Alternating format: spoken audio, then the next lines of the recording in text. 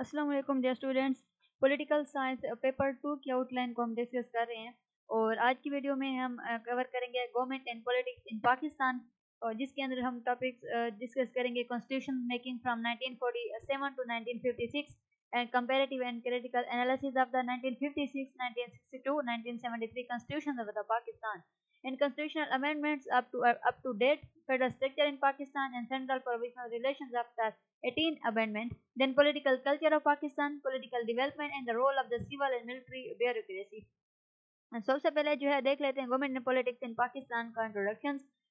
so since it's independence 1947 Pakistan has faced numerous challenges in establishing a stable political system. The process of constitution making the evolution of constitutional framework and the dynamics between federal and provincial structures have been pivotal in shaping the country governance. 1947 سے 1956 تک پاکستانی آئین سازی کے اندر جو ہے آئین سازی کی 62 73 اور 56 میں جو ہے آئینی ترمیم ہوئی آئین بنا اور پاکستان میں 1947 یعنی میں آزادی کے بعد سے پاکستان کو ایک مستحکم سیاسی نظام قائم کرنے میں بہت سے چیلنجز کا سامنا کرنا پڑا۔ آئین سازی کا عمل تھا یا آئینی فریم ورک کی ترقی تھی۔ وفاقی اور صوبائی ڈھانچوں کے درمیان ڈائنمکس نے ملک کی حکمرانی کی کو شیپ دینے میں تشکیل دینے میں بہت اہم کردار ادا کیا۔ تو اس میں ہم دیکھیں گے آئین سازی کے عمل کو، پاکستان کے آئین کے جو آئین ہیں، ان کا تجزیہ کریں گے۔ ترمیم وفاقی ڈھانچہ، سیاسی ثقافت اور بیوروکریسی کے دار کے اوپر بات کریں گے۔ So constitution making from 1947 to 1956 early political context independence 1947 تو ابتدائی جو سیاسی تناظر تھا، پاکستان نے چودہ اگست انیس سو سنتالیس کو برطانوی حکومت سے آزادی حاصل کی۔ اور فوری طور پر جو چیلنج تھا وہ یہ تھا کہ سیاسی اور قانونی فریم ورک کس طرح سے تیار کیا جائے گا۔ اور پھر آئین کی عدم موجودگی تھی یعنی پاکستان کے نے ابتدا میں ہندوستان حکومت ایکٹ 1935 کے تحت کام کیا جو برطانوی دور سے جو ہے ان کو وراثت میں ملا تھا۔ اور پاکستان کے مخصوص ضروریات کے لیے یہ موضوع نہیں تھا۔ Then Constituent Assembly, a, a Constituent Assembly was formed in 1947 to draft a constitution. یعنی انیس سو سنتالیس میں ایک دستور ساز اسمبلی تشکیل دی گئی تھی تاکہ آئین کا مسودہ تیار کیا جا سکے اور سیاسی عدم استحکام اور رہنماؤں کے درمیان اختلافات نے اس عمل میں تاخیر کی۔ اب اس کے کی ایشو سے اسمبلی کو اختیارات کی تقسیم، حکمرانی میں اسلام کا کردار اور صوبوں کے جو ہے، کی حیثیت جیسے چیلنجز کا سامنا تھا۔ اس کے بعد 1956 کنسٹیٹیوشن بنا اور اس میں یعنی اس کی جو برسوں کی جو بحث و مباحثہ تھا، اس کے بعد پھر تیئیس مارچ انیس سو چھپن کو پاکستان کا پہلا آئین جو ہے منظور کیا گیا تھا۔ اب اس کی اہم خصوصیات تھی declare Pakistan and Islamic republic establish a parliamentary system of the government define fundamental rights for citizen so اس میں جو اس کی خصوصیات تھی پاکستان کو اسلامی جمہوریہ قرار دیا گیا اس آئین میں اور، شہریوں کے بنیادی حقوق کی وضاحت کی گئی۔ پھر ایک وفاقی ڈھانچے اور ایک ایوانی مقننہ بنایا گیا۔ یعنی کیمرہ لیجسلیچر کا تعین ہوا اس کے اندر اس کے بعد comparative and critical analysis of the Pakistan constitution 1956 constitution strengthens and weaknesses تو اس کی کمزوریاں اور اس کی طاقت دیکھتے ہیں انیس سو چھپن کے آئین کی تو پارلیمانی جمہوریت کے لیے جو فریم ورک قائم کیا اور اسلام کو حکمرانی کے رہنما اصولوں کے طور پر اہمیت دی گئی اس آئین میں اور اب اس کی کمزوریاں بھی تھیں اس کی یعنی آئین میں صدر اور وزیر اعظم کے درمیان طاقت کے توازن سے متعلق جو دفعات تھیں اس میں یعنی کہ کافی وہ مبہم مبہم چیزیں تھیں جو دفعات تھیں اس کے اندر۔ پھر انیس سو باسٹھ کا کنسٹیٹیوشن ہے۔ تو انیس سو باسٹھ کا جو کنسٹیٹیوشن ہے، وہ اس کا صدر ایوب خان نے یکم جون انیس سو باسٹھ کو نافذ کیا تھا۔ اور اس کے فیچرز سے establish presidential system concentrating power in the office of the president introduced by camera legislature and enhance the role of the military in governance انیس سو باسٹھ کے آئین سے یعنی کہ صدارتی نظام قائم کیا گیا تھا، جس میں زیادہ تر اختیارات صدر کے پاس تھے۔ دو ایوانی مقننہ کا تعین کیا گیا تھا اور اس کے اندر اور خصوصیات تھی کہ فوج کے کردار کو حکمرانی میں یعنی اس نے بڑھایا تھا۔ اور اس کی، اس کے اوپر یعنی کہ تنقید بھی کی گئی۔ اس کا مقصد سیاسی صورتحال کو مستحکم کرنا تھا۔ لیکن اس نے آمریت کو جنم دیا اور سیاسی آزادیوں کو محدود کر دیا گیا تھا، کیونکہ اس میں فوج کے کردار کو جو ہے اس کا جو کردار تھا، اس میں حکمرانی کو بڑھایا گیا تھا انیس سو باسٹھ کے آئین میں۔ دین انیس سو تہتر کانسٹیٹیوشن آیا، پھر اس میں جو ہے، یہ دس اپریل انیس سو تہتر کو وزیر اعظم ذوالفقار علی بھٹو کی قیادت میں انیس سو تہتر کا آئین منظور ہو گیا تھا۔ اس کے جو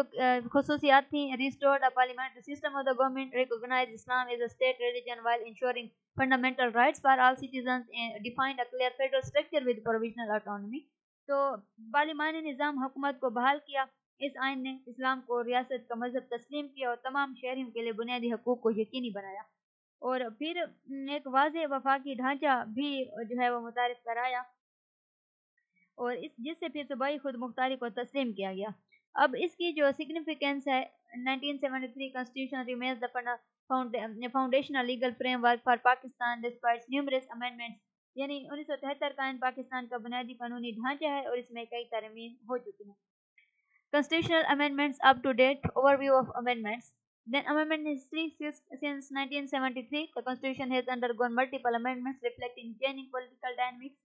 آئینی ترمیم کی جو تاریخ ہے انیس سو تہتر کے بعد سے آئین میں متعدد ترمیم کی گئیں جو سیاسی ڈائنامکس کی تبدیلی کو ظاہر کرتی ہیں اور اس کے اندر جو سگنیفیکینٹ امینڈمنٹس تھیں ایٹ امینڈمنٹ تھی تھرٹین اینڈ فورٹین امینڈمنٹس تھی یعنی ایٹ جو آٹھویں امینڈمنٹ تھی، وہ نائنٹین نائنٹی فائیو میں لائے گی پھر تھرٹین اور fourteen amendments nineteen ninety seven کے اندر eighteen amendment two thousand ten میں۔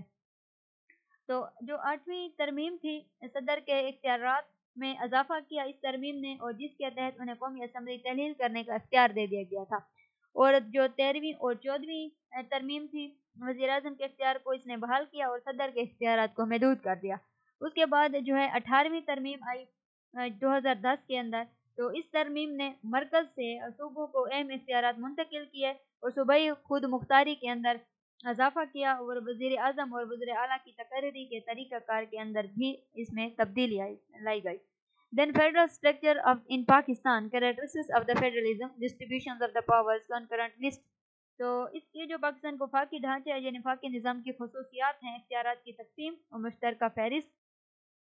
انیس سو تہتر کا آئین وفاقی اور صوبائی حکومتوں کے درمیان اختیارات کی وضاحت کرتا ہے۔ اور جو مشترکہ فہرست تھی یعنی کچھ موضوعات، کچھ سبجیکٹس جو تھے وہ شیئر تھے، مشترکہ ہیں، اور جس سے دونوں سطح کے اوپر حکومتوں کو قانون سازی کی اجازت ملتی ہے۔ Then provincial autonomy provincial assemblies and effect of eighteen amendment each province has its assembly responsible for local governance and legislation on certain matters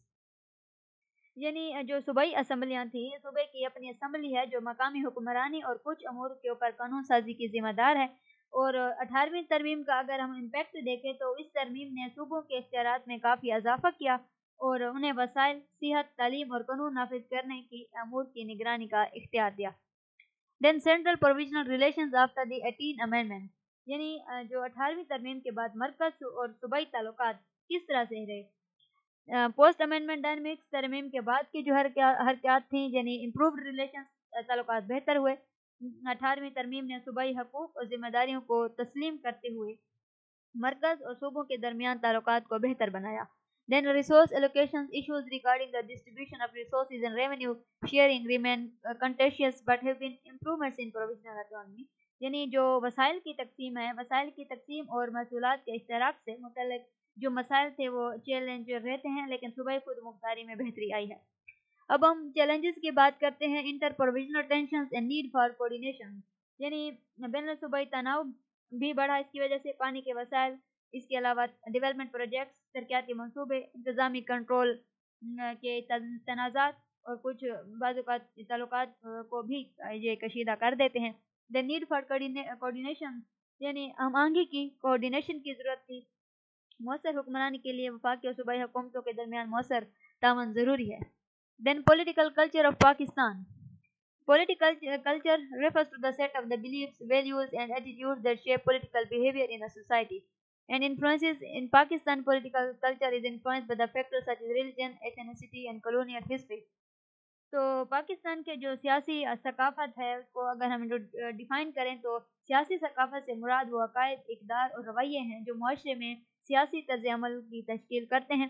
اور اس کے جو اس کی یعنی کہ خصوصیات ہیں اس کے اندر، کہ جس طرح سے پاکستان میں اکثر جو ہے شخصی وفاداری یعنی اکثر سیاسی وفاداری سے زیادہ شخصی وفاداری کو اہمیت دی جاتی ہے۔ پھر اسلام کا کردار ہے۔ اسلام پاکستان کی سیاسی نظریات اور پارٹی پلیٹ فارم کی تشکیل میں بہت اہم کردار ادا کرتا ہے۔ دین، ایتھنک ڈائیورسٹی ہے یعنی کہ نسلی تنوع پاکستان کی سیاسی شناخت کو متاثر کرتا ہے۔ اور جس سے مختلف صوبوں میں جو سیاسی وابستگیاں ہیں، پھر وہ مختلف ہوتی ہیں۔ Then political developments in the role of the civil and military bureaucracy civil bureaucracy civil bureaucracy کے یعنی کہ کیا ذمہ داریاں ہوتی ہیں، کیا کردار ہوتا ہے سیاسی ترقیات اور سول فوجی اور بیوروکریسی کا کردار۔ تو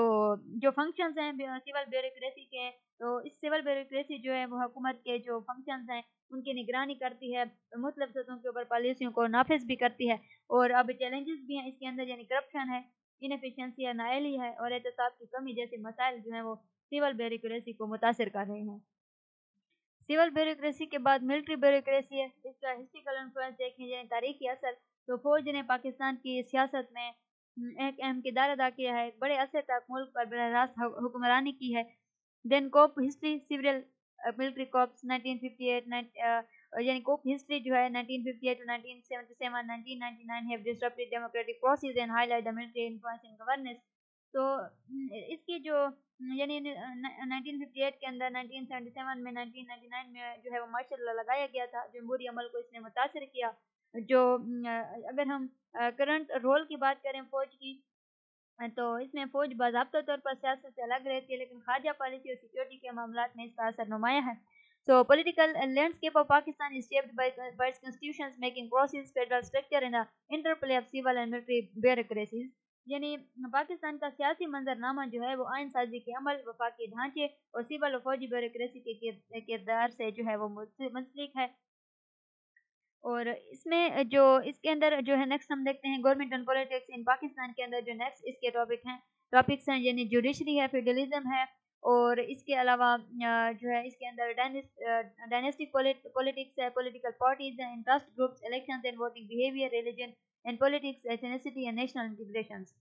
So Pakistan uh, uh, political landscape is shaped by unique blend of historical, social and cultural factors. So understanding the various elements such as uh, judiciary and uh, feudalism, dynastic politics, political parties, election, religion, ethnicity is essential for comprehending the complexities of the governance and uh, political behavior in the country. حکومت اور سیاست پاکستان میں آئینی عمل جگیرداری ہو خاندانی سیاست ہو سیاسی جماعتیں مفاداتی گروہ انتخابات اور ووٹنگ رویے مذہب اور سیاست قومیت اور قومی قومی جہتی تو ان ٹاپکس کو ہم ڈسکس کریں گے۔ تو جو پاکستان کے اندر یعنی کہ سیاسی منظرنامہ ہے، وہ ایک منفرد جو ہے تاریخی، سماجی اور ثقافتی عوامل کے امتزاج سے تشکیل پایا ہے اور جس طرح سے عدلیہ ہے، جوڈیشری اور جگیرداری ہے، خاندانی سیاست ہے، سیاسی جماعتیں، انتخابات انتخابات ہے مذہب ہے، قومیت جیسے مطلب عناصر کو سمجھنا پاکستان میں حکمرانی اور سیاسی رویوں کی پیچیدگیوں کو سمجھنے کے لیے ضروری ہے۔ تو judiciary in Pakistan structure of the judiciary supreme court apex court of Pakistan it is the highest authority in the judicial hierarchy and responsible for interpreting the constitution and ensuring justice یعنی جو supreme court ہے پاکستان کا سب سے اعلیٰ اعلیٰ عدلیہ ہے جو آئین کی تشریح اور آئین انصاف کی فراہمی کی ذمہ دار ہے اس کے بعد جو ہے وہ ہائی کورٹس ہیں یعنی ہر صوبے کی اپنی ہائی کورٹ ہوتی ہے جو نچلی عدالتوں سے اپیل، اپیلوں اور انتظامی امور سے جو ہے وہ نمٹتی ہے. اس کے بعد لوور کورٹس بھی ہیں یعنی کہ اس کے اندر ان میں جو ہے وہ سیشن عدالتیں شامل ہیں جو ضلعی اور مقامی سطح کے اوپر مختلف معاملات سے نمٹتی ہیں۔ پھر رول آف دا جوڈیشری ہے judicial review protection of the fundamental rights تو عدلیہ کا جو کردار ہے یعنی عدلیہ نظر ثانی، عدلیہ کو قوانین اور انتظامی اقدامات کا جائزہ لینے کا اختیار حاصل ہے۔ اور تاکہ وہ آئین کے مطابق ہوں اور بنیادی حقوق کا تحفظ بھی عدلیہ کی ذمہ داری ہے۔ عدلیہ شہریوں کے بنیادی حقوق کی تحفظ کا بنیادی حقوق کا تحفظ کرتی ہے، حکومتی زیادتی کو روکنے کے لیے چیک اینڈ بیلنس بھی فراہم کرتی ہے۔ اب عدلیہ جو ہے، کچھ چیلنجز کو بھی فیس کر رہی ہے، جس میں جوڈیشل انڈیپینڈنس ہے اور اس کے بعد ہے بیک لاگ آف کیسز یعنی عدلیہ کی آزادی، عدلیہ کی آزادی کو اکثر جو ہے وہ سیاسی دباؤ اور ایگزیکٹو شاخ سے دباؤ کے باعث خطرات کا سامنا رہتا ہے۔ اور پھر اس مقدمات کا بیک لاگ ہے یعنی عدلیہ کو، مقدمات کو بڑے بیک لاگ کا سامنا ہے، جس کی وجہ سے بہت سے شہریوں کو انصاف میں تاخیر ہوتی ہے۔ Then federalism in Pakistan Pakistan کے اندر جو جگیردارہ نظام ہے فیڈرلزم کیا ہے؟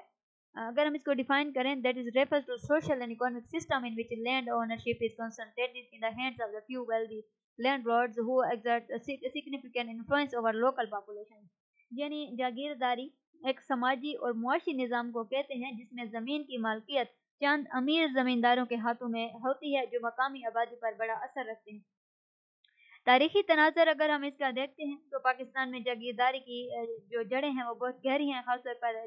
دیہاتی علاقوں میں، جہاں جو زمینداری ہے، وہ بڑے زرعی زمینوں اور وسائل کے اوپر کنٹرول یعنی کہ رکھتے ہیں، جو زمیندار ہیں، بڑے زمیندار۔ اور اس کے بعد impact on politics political influence جو سیاست پر اثر ہے سیاسی انفلوئنس یعنی جاگیردار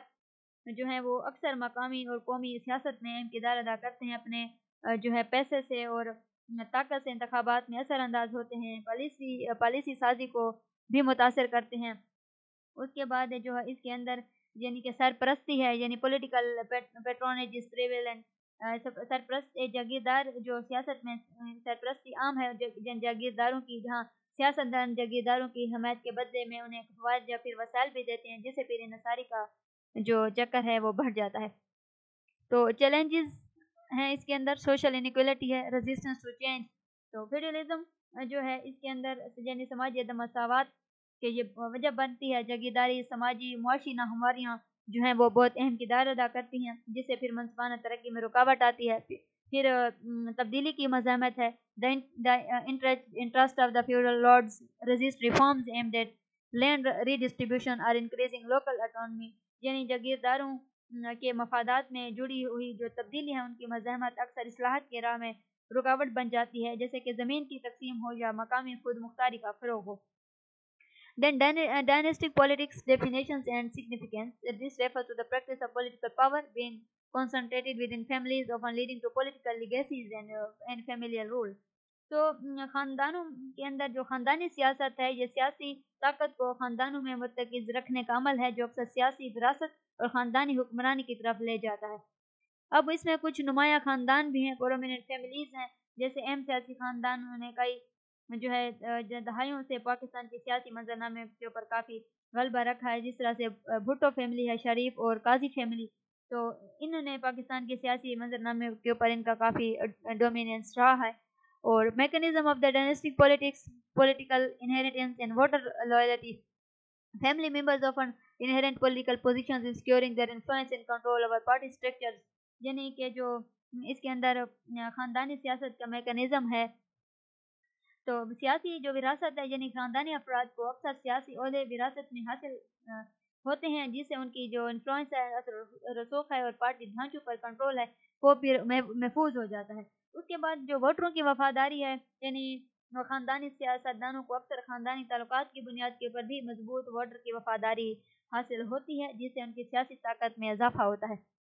اب اس کے نتائج کی اگر ہم بات کرتے ہیں تو لمیٹڈ پولیٹیکل موبلٹی اس کی وجہ سے ہوتی ہے اور پبلک ڈسکنٹینٹ یعنی نتائج جو ہیں وہ اس میں سیاسی نقل و حرکت جو ہے وہ محدود ہو جاتی ہے۔ کیونکہ خاندانی سیاست نئی قیادت اور خیالات کو محدود کر سکتی ہے، کیونکہ مستحکم خاندان سیاسی طاقت کے اوپر قابض رہتے ہیں۔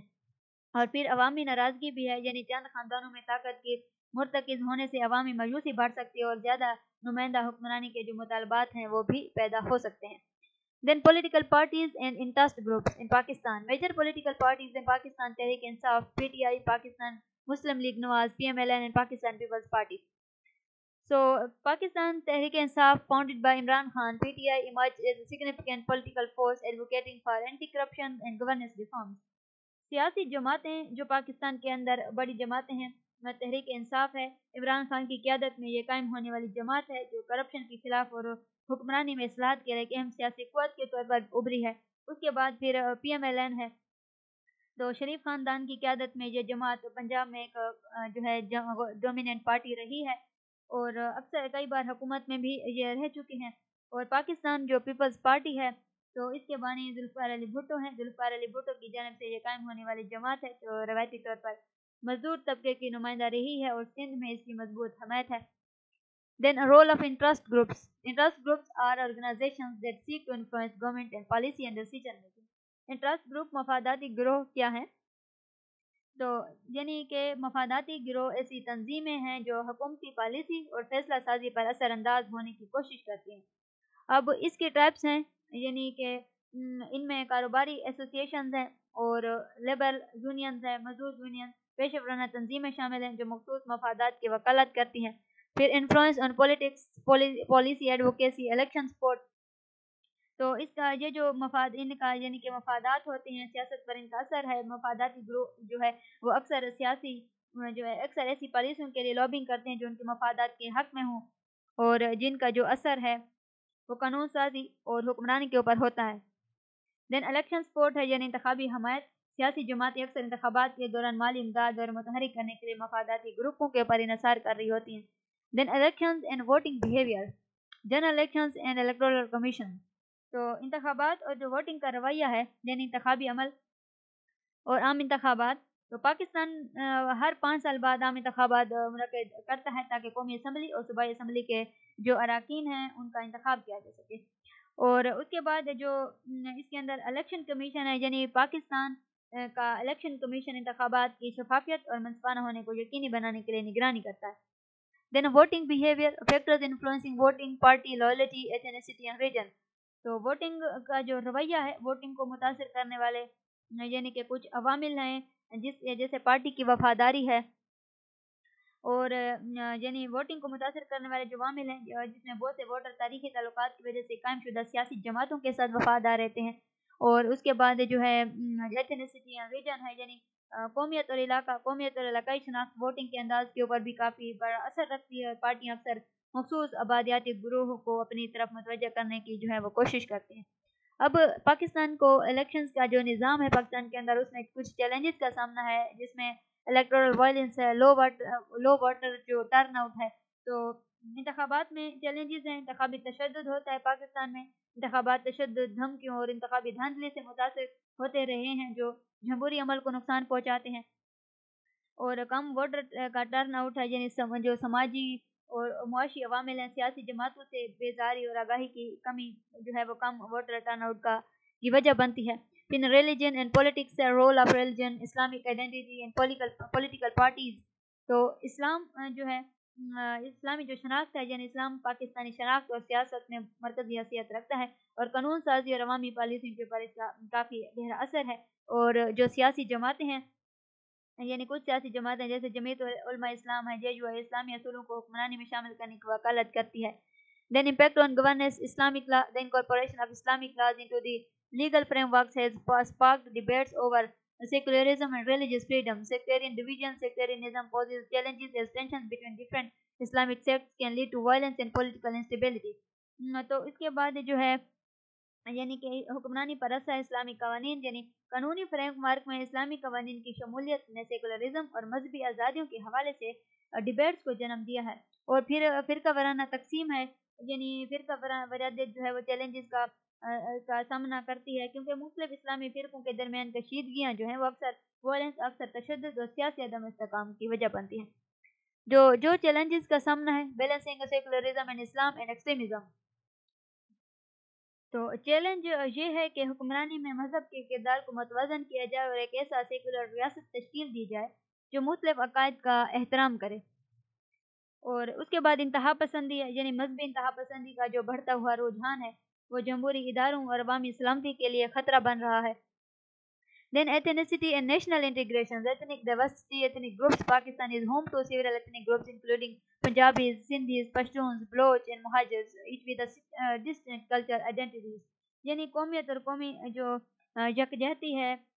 پاکستان میں کئی قومیتی گروپ موجود ہیں جن میں پنجابی، سندھی، پختون، بلوچ، مہاجر شامل ہیں، جن کے الگ الگ ثقافتی شناختیں ہیں اور پھر ریجنل ڈائنمکس ہیں یعنی قومیتی جو قومیتی شناخت اکثر علاقائی سیاست کو جو ہے وہ متاثر کرتی ہے اور زیادہ خود مختاری جو نمائندگی کے مطالبات کا، کی وجہ بھی بنتی ہے۔ اب قومی یکجہتی کو کچھ چیلنجز بھی درپیش ہیں یعنی کہ اتنی ٹینشنز ہیں لینگویج پولیٹکس ہے اور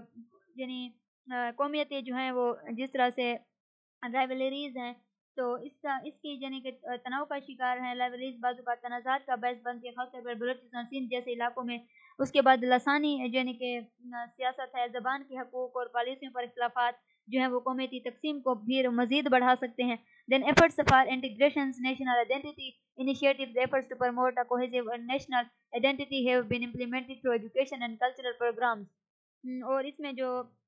یکجہتی کے لیے کوششیں ہیں۔ یعنی قومی شناخت اقدامات، تعلیم اور ثقافتی پروگراموں کے ذریعے ایک متحد قومی شناخت کو پروموٹ کرنے کی کوششیں کی گئی ہیں۔ اور اس کے بعد جو صوبائی خود مختاری ہے یعنی اٹھارہویں ترمیم نے علاقائی عدم مساوات کو دور کرنے کے لیے جو ہے وہ صوبائی، جو اس کے اندر یعنی کہ خود مختاری ہے، اس میں اضافہ کیا ہے جس سے ایک متوازن سیاسی ڈھانچے کی کو تشکیل دینے میں مدد ملی ہے۔ So, so government in politics of the Pakistan are characterized by the complex interplay of factors including the judiciary, feudalism, dynastic politics, political parties, and the influence of religion and ethnicity. So understanding these dynamics is crucial for navigating the challenges of the governance and promoting effective democratic practices in a country. Pakistan کی حکومت اور سیاست ایک پیچیدہ صورتحال ہے جس میں عدلیہ جگیرداری خاندانی سیاست سیاسی جماعتیں مذہب اور قومیت کا کردار شامل ہے تو ان ڈائنمکس کو جو ہے وہ سمجھنا جو ہے وہ اہم ہے جو، تاکہ جو گورننس کے چیلنجز ہیں، ان کو نیویگیٹ کیا جا سکے اور جو افیکٹو ڈیموکریٹک پریکٹسز ہیں، ان کو پروموٹ کیا جا سکے اور پاکستان جو ہے continues to evolve politically addressing these challenges will be vital for achieving stability Pakistan کو ان تمام چیلنجز یعنی سے نمٹنا ان سے ایڈریس کرنا ضروری ہوگا۔ اسٹیبلٹی کو قائم کرنے کے لیے مساوات کو قائم کرنے کے لیے، اور نیشنل نیشنل انٹیگریشن کو قائم کرنے کے لیے جو ہے، پاکستان کے لیے ضروری ہے کہ تمام ان چیلنجز سے کو ایڈریس کرے۔ سو ان ٹاپکس کے ریگارڈنگ اگر کوئی کوشچن ہے تو کامنٹ سیکشن میں پوچھ سکتے ہیں تھینک یو فار واچنگ اور ویڈیو اف یو لائک اور video then like share and subscribe our channel